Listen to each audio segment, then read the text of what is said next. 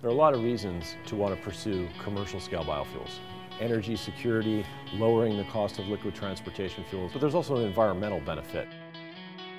We can grow biofuels that have a much lower greenhouse gas footprint than combusting petroleum.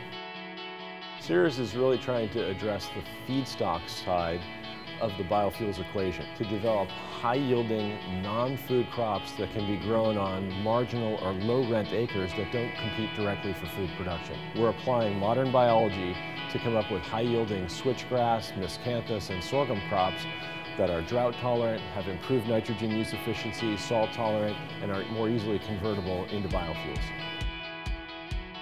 When we think about using dedicated energy crops, we believe the agricultural system will look, frankly, very similar to the way sugarcane works in Brazil. Sugarcane is a high yield density, what's called C4 grass, a very photosynthetically efficient grass that's grown in a short transportation radius from a centralized mill, harvested in a just-in-time fashion. We collect that biomass, we bring it to a central mill where it's processed into ethanol.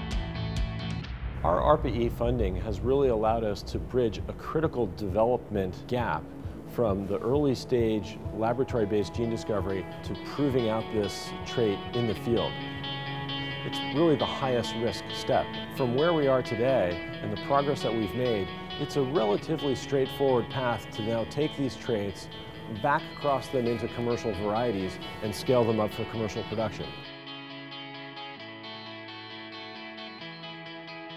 When we look at these high-yielding, deep-rooted perennial species, things like switchgrass and miscanthus, you can see the above-ground aerial tissue, but there's a lot of root biomass down below. With the right agronomic practices, that root biomass can sequester carbon where the half-life can actually be thousands and thousands of years. So we're actually sweeping the sky free of CO2. Plants take carbon dioxide out of the atmosphere, they fix it into sugars through photosynthesis, and at least some of that is then going down below ground. We became really interested in biofuels when we saw some work that was funded by DOE to advance cellulosic biorefinery.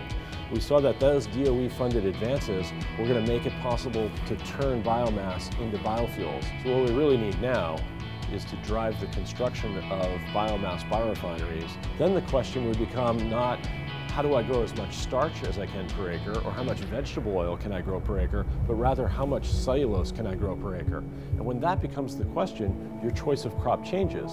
And then you start growing things like switchgrass, like miscanthus, like sorghum. High biomass producing crops that can be grown on low rent or marginal land. We have the feedstock advances that are being made by companies like Ceres. We see refining technologies being advanced and we still see high global oil prices. So we need to have liquid transportation fuels and biofuels are the best sustainable source of liquid transportation fuels that we have.